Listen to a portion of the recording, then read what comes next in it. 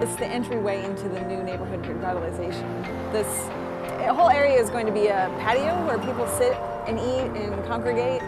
So it, we really wanted a very happy, vibrant, motion-filled musical backdrop for that been planning a course that focuses on the history of murals in America. And I wanted to have some kind of learning experience for the students where they would work directly with a local artist painting a mural in town. The students and community members got a quick lesson on how to hold a paintbrush and then I let them go for it. I mean, there wasn't room on the wall for everybody here volunteering. Cool just to see how many community members are out here though, because there are a lot of people.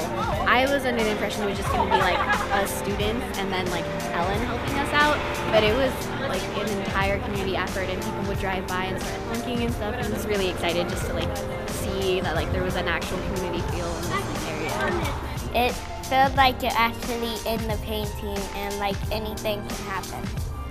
Everybody feels like family here and we just have fun painting, playing around and all that.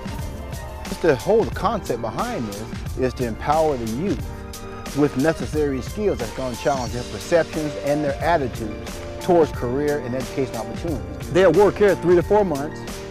After that, we're building relationships with other restaurants in town where they can go to another restaurant and do an internship there for about a month. After that, hopefully get gainful employment.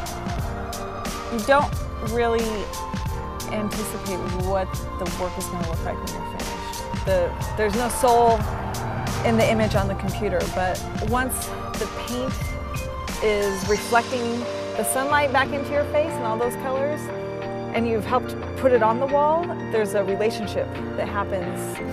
Uh, it's really there.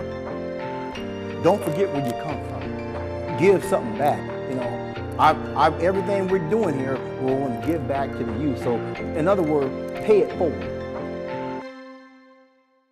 Um, thank you for inviting me, and I hope this place becomes a really good restaurant.